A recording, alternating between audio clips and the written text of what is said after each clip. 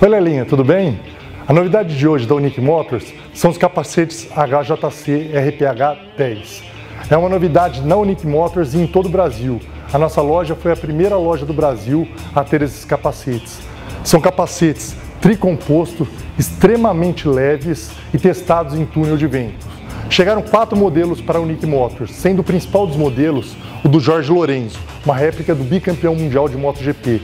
Esses capacetes têm um excelente custo-benefício. Eles custam a partir de 10, 10 vezes de 189 reais. Venham conferir aqui na Unique Motors.